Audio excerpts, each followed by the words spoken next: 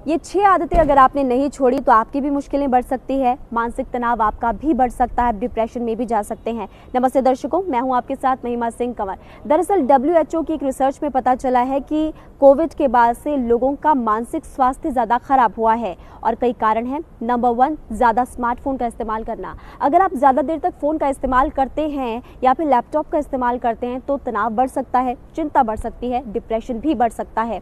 दूसरा पॉइंट है, नींद पूरी ना होना। जो लोग मिनिमम आठ घंटे की नींद लेते हैं, उनका स्वास्थ्य ठीक रहता है। इसलिए कोशिश कीजिए कि आप आठ घंटे की नींद पूरी करें। तीसरा पॉइंट है मदद ना मांगना। अगर आप सोचते हैं कि आप दूसरों के कंपैरिजन में अच्छा कर सकते हैं या कर रहे हैं और आप दूसरों से मदद नहीं मांगेंगे या फिर आप उनसे बातचीत नहीं करेंगे तो गलत है। आपको लोगों से बातचीत करनी चाहिए। ज़रूरत पड़ने पर मदद भी मांगनी चाहिए।